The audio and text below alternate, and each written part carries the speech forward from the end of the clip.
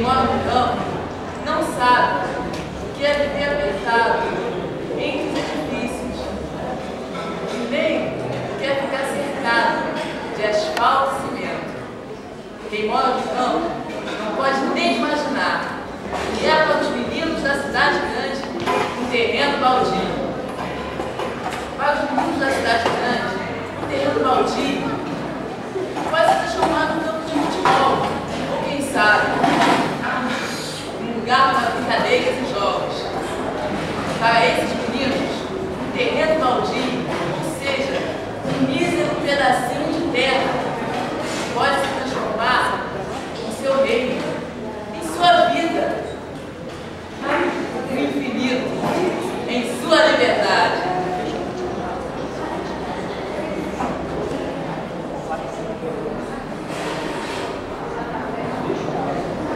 Meu nome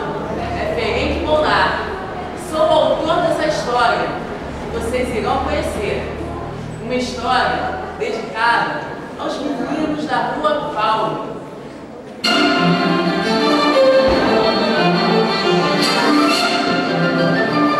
Parece uma rua pobre que terminava num terreno baldio, carinhosamente chamado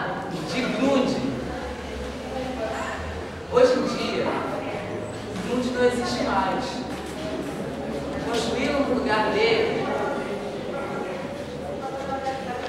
um edifício de quatro andares, cheio de moradores, aos quais deles sabe que aquele pedacinho de terra significou a infância para muitos meninos da cidade grande.